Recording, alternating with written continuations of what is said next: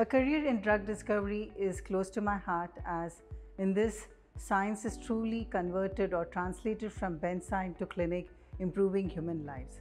Every day, new challenges, and that results in solving skills that excites me.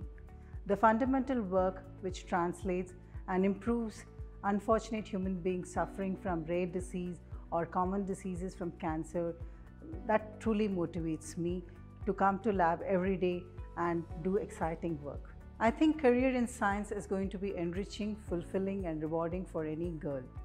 Irrespective of which branch you take in science, besides financial independence, it changes the fundamental way a person thinks.